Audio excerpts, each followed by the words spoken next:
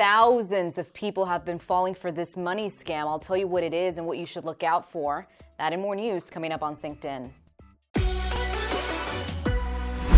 Hey everyone, be on the lookout for the scam so you don't fall for it. PG&E is warning customers scammers have been calling threatening to disconnect service unless they pay then and there over the phone. The thing here is these calls apparently look like they're actually coming from PG&E, but they're not.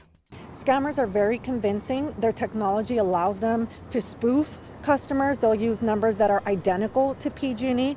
PG&E says in January alone, more than 1,000 people fell for the scheme, losing about $65,000 in total. But these scammers are not just out for money, they're stealing personal information too.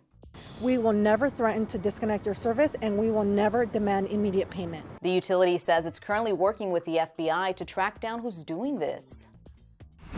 In other news, there's a storm on the way. Here's meteorologist Rob Maeda with your weekend forecast.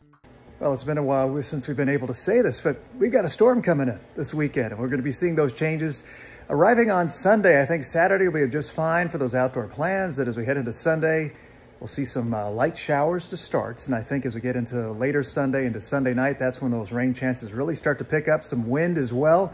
So plan on some of that to wrap up the weekend. A few more showers Monday, and then we trend warmer as we head towards the middle of next week. Thanks, Rob. Make sure to follow him on his socials to stay on top of this storm throughout the weekend. Okay, do you need some show recommendations for this weekend since it's going to be raining and all? I've got you. There are three new series out right now with ties to our very own Silicon Valley. There's a dropout on Hulu depicting the rise and fall of the infamous Elizabeth Holmes. Then there's Super Pumped on Showtime about the turbulent beginnings of Uber and its founder Travis Kalanick. And lastly, the show We Crashed on Apple Plus.